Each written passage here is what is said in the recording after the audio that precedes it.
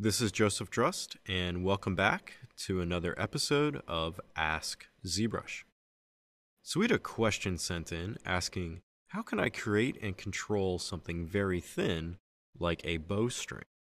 So, here I just have a quick bow that was modeled inside of ZBrush here, and I want to add a bowstring to this bow here.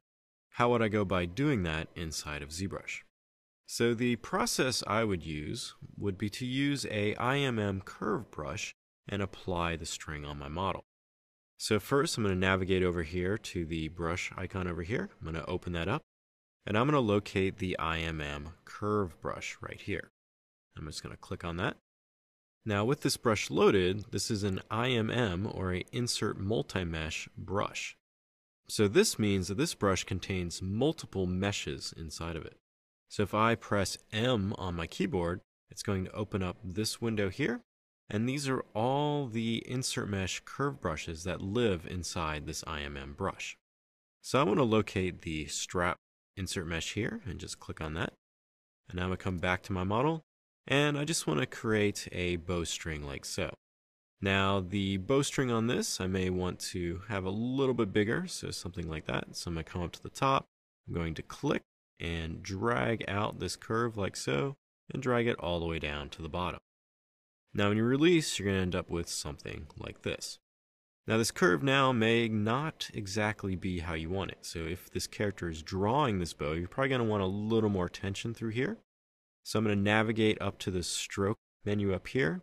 I'm going to open up the curve section here, and I'm going to turn on lock start and lock end. Now with lock start and lock end on, this is going to lock this point on this curve and lock this point on this curve. But then I can come through and still manipulate the curve like so.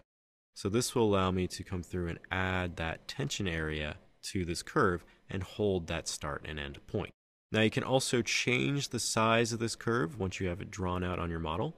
To do this, just hover off your model so you end up with the red circle and then just change your draw size like so. And now when you come back to this curve and simply click, it's going to update the size of that curve in my model here. So you can draw your curve out. If the size is not what you're looking for, you can just change your draw size. Just make sure you have that red circle instead of the blue circle.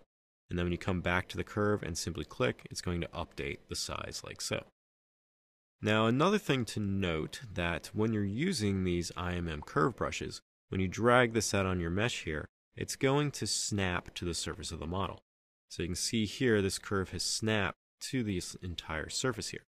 Or there may be times where you don't want this to happen.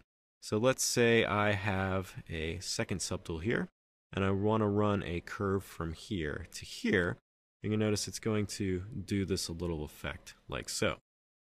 So you can disable this by coming to the picker menu up here and open up this depth area, and there is an option for once Z or continuous Z. So right now this is set to continuous Z. So as you draw your stroke out on your model, ZBrush is going to look at the depth that you're seeing and it's going to snap to that surface.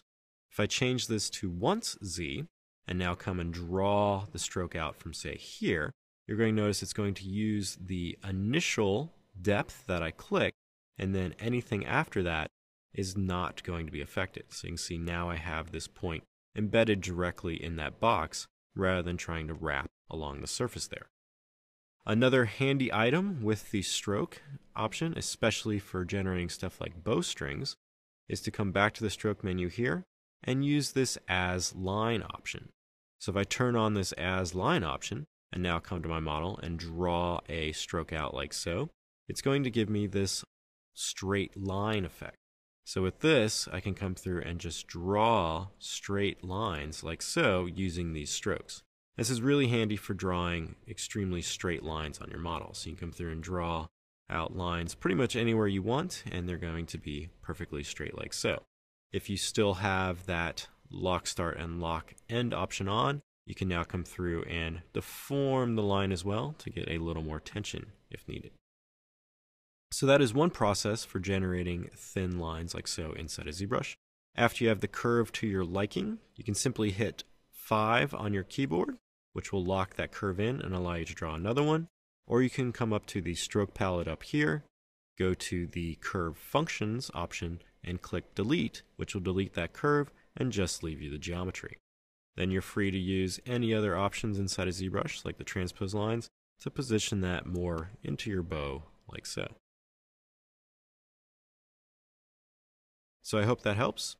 If you have any additional questions on ZBrush related pipelines or processes, please use the hashtag AskZBrush on Twitter. Happy ZBrushing!